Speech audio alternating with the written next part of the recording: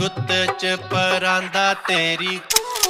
ਤੇਰੀ ਗੁੱਤ ਚ ਪਰਾਂਦਾ ਸਾਡੇ ਹੱਥ ਚ ਰਮਾਲ ਨੀ ਲੱਭਦਾ ਨੀ ਲੱਭਦਾ ਨੀ, ਮਾਮਿਆਂ ਨੂੰ ਪਾਲਣੀ। ਬਿੱਟ ਬਿੱਟ ਤੱਕਦਾ ਏ ਵੈਰੀ ਅੱਖ ਪੱਟਦਾ ਏ ਕਹਿਣ ਜਿਹੜੇ ਝੋਟੇ ਆ ਨਾ, ਉਹ ਗਵੇਂ ਜਡਾ